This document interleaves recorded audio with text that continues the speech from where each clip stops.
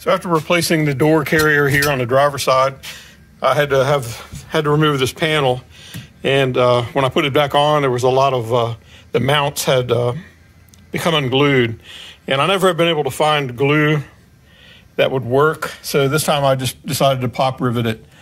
Riveted here. This is a long piece along the top. I'll just put three rivets on the top, and then there was another one down here. Uh, this one won't even be visible because of the dash here.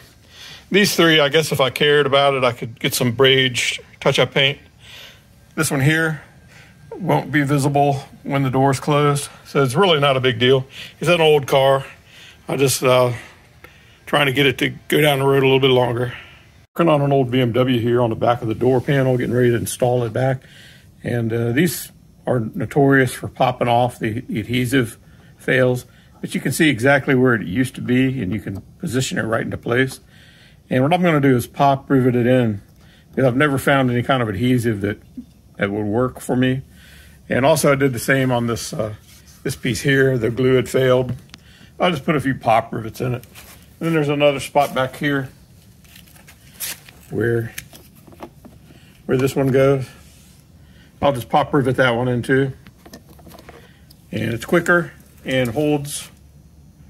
And it's just an old BMW, it doesn't matter. So after repairing the door carrier, I had to uh, use some rivets to connect the mounts back onto the uh, inside of the door.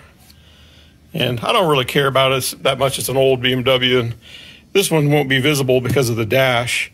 These will be, these three on the top, but I really don't care. And this one here won't be visible uh, when the door is closed.